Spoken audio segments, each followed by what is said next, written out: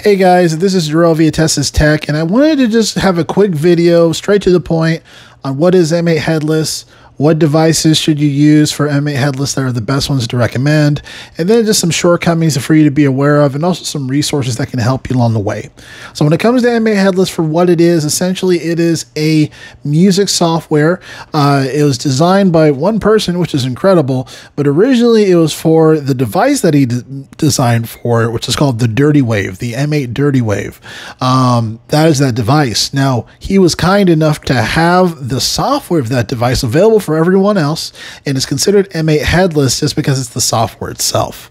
The nice thing about this software is that it's compatible with multiple devices, including retro retro handheld devices. So if you're familiar with Anbernic, Powkiddy, um, uh, there, a few other companies as well, but they have these devices that are run mostly either on Android or on Linux uh, that you can play old school games on, but you can also put this software on it as well. Now, to keep in mind, when it comes to the M8 Headless, you do need what's called a Teensy, which is a microcontroller, specifically the Teensy 4.1, in order to uh, for to, for the M8 headless software to run. If you don't have this, you're not going to be able to use the M8 headless software. So just to be noted on that, okay.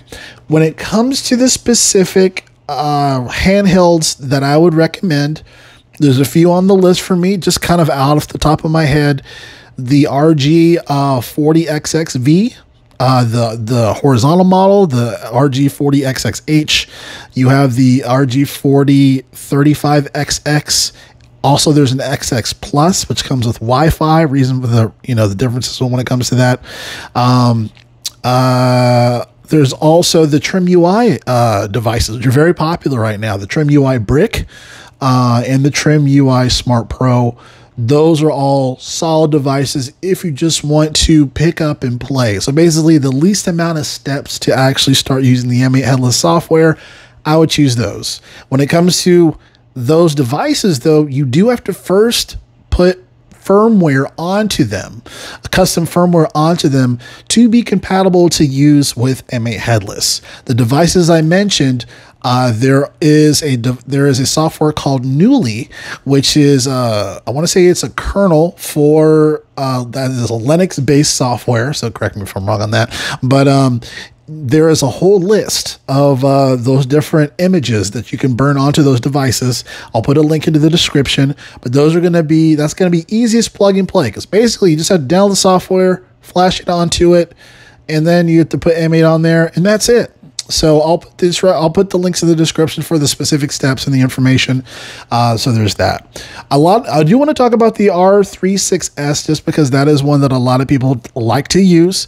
It is very popular, but there is a lot of shortcomings with the R36S. Reason why it's so popular that you can see it on YouTube and whatnot is because it's one of the first devices that was at a really cheap price that could do a whole lot and was very customizable. So if you are um, you know, if you like messing around with technology and circuit boards and soldering, you know how to do all that stuff and know the software component, you know, very, very tech savvy, you can customize the R36S quite a bit.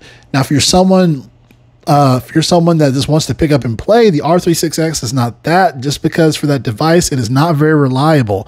I purchased two R36Ss. Both of them had issues with their headphone, with the, the headphone port, which is a big deal because if you're using software, if you're making music and you want that music to be casted out from the device into, say, if you're sharing it on Instagram or something, you want a good headphone port that's going to give you a clean sound out of the software. Sadly, it does not do that out of the box. So you might have to modify or fix or replace certain chipsets. But if you're someone who just wants to pick up and play, you know, install the M8 headless software easy, not going to be the case. Also, when it comes to actually putting the M8 headless software on there, it's not the easiest of ways. It's actually quite complicated in my personal opinion.